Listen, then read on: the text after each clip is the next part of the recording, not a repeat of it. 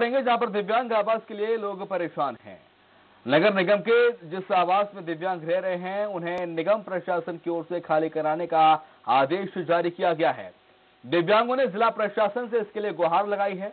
पीड़ितों का कहना है कि उन्हें आवास से जबरन निकाला जा रहा है। प्रशासन की ओर से उन्हें नए आवास दिए जा रहे हैं और नए आवास दिए जाने का आश्वासन दिया गया था, मगर ऐसा कुछ नहीं है। दिव्यांग आज भी परेशान है, मजबूर है और निराश है।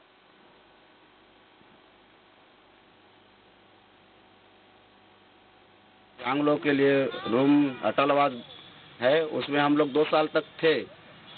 और उसमें नगर निगम वाले परसों के डेट में आए, नोटिस दिए कि जितने भी आदमी हो, सब यहाँ से चले जाओ।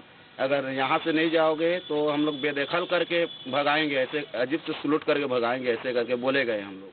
दिल्ली भाठा में रहते हैं, आवास में। और वहाँ से नगर निगम वाले लोग आए और वहीं से दे दिए, कागज़ के यहाँ से निकल जाइए।